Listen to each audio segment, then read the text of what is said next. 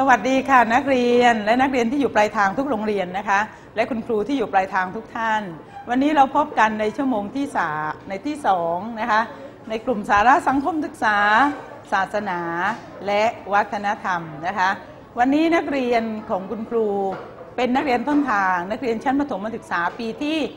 หนึ่งทับอะไรคะลูกทับสองนะคะเพื่อนๆปลายทางก็จะเห็นหน้าเอ๊นักเรียนห้องปหนึ่งทับสองเนี่ยหน้าตา น่ารักไหมตั้งใจเรียนหรือเปล่า ใช่ไหมคะ เพื่อนๆปลายทางก็แอบมองทุกวันแหละ ว่าเอ๊ะห้องหนึ่งเป็นยังไง ห้องสองเป็นอย่างไร ห้องสามเป็นไงน่ารักไหมนะคะ เพื่อนๆปลายทางก็แอบมองเราอยู่ตลอด ดังนั้นวันนี้นะคะ ตรงกับวัน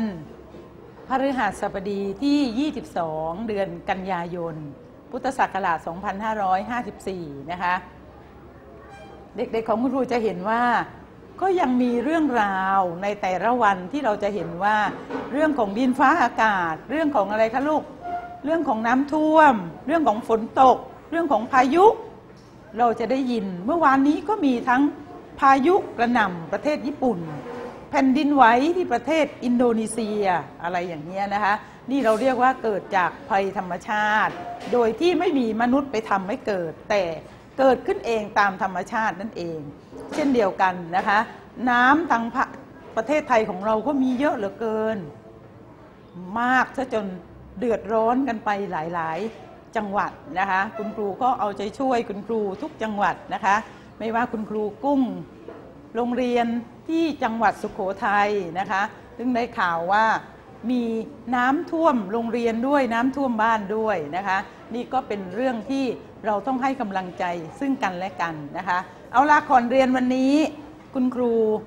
เห็นว่าเด็กๆของครูนั้น อยากจะเต้นเพลงเศรษฐกิจพอเพียง วันนี้คุณครูก็จัดให้ก่อนนะคะ แล้วเดี๋ยวเราจะไปดูพุทธประวัติกันต่อนะคะ เอาละค่ะทั้งหมดยืนขึ้นอ่าวันนี้คุณครูให้ผู้ชายหนึ่งอ่าผู้ชายเดี๋ยวเอาต้องเท่าเท่าๆกัน เดี๋ยวก่อนลูกสองคู่นะคะ อ่าผู้ชายนู่นอ่ามา คู่กับหัวหน้าคนสูงอะอ่าผู้หญิงหนึ่งคู่อ่าเดี๋ยวคุณครูเลือกเองเอาไปเข้าแถวก่อนอะคุณครูเลือกผู้ชายตัวเล็กสองคนนี้มาเอาเจนมา คู่คู่ข้างหน้าลูกอ้าสามคนข้างหน้า ข้างหน้าสามคนอ้าวข้างหลังสองคนเห็นไหมคะ ต้องดูไซส์ด้วย ต้องดูขนาดด้วยอ้าวทั้งหมดจัดแถวอ่าจัดแถวก่อนลูก เอาสามคนขยับหน่อยสิลูกเดี๋ยวเราเคลื่อนหนูขยับไปนิดหนึ่งตรงกลาง เจน เจนขยับไปทางขวานิดหนึ่งลูกอ่าให้เห็นเพื่อนข้างหลังด้วยสองคนนะคะ วันนี้จะให้ผู้ชายนำบ้าง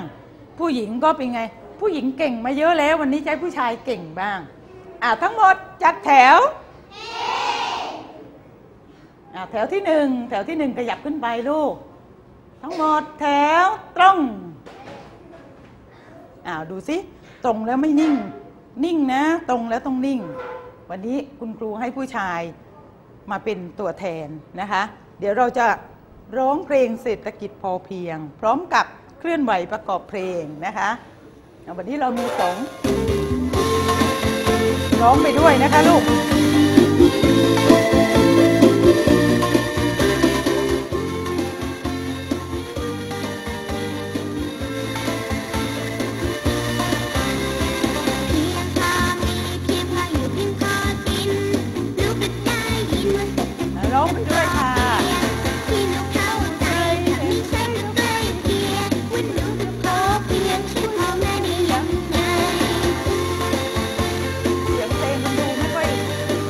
ยังไม่ค่อยชัดเท่าไหร่แล้วนะคะ เทปคุณครูไม่ดีแล้ว